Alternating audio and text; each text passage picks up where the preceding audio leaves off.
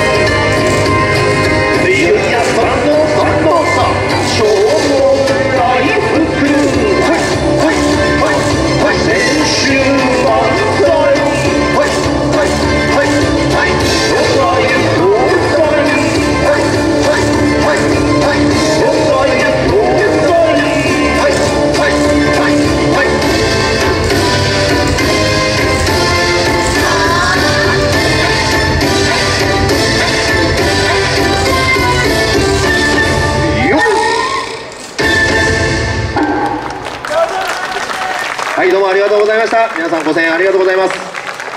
またあの長市の会場で演舞もありますんで皆さんあのご参加じゃなくてあの見に来ていただきたいと思います。よろしくお願いします。ありがとうございました。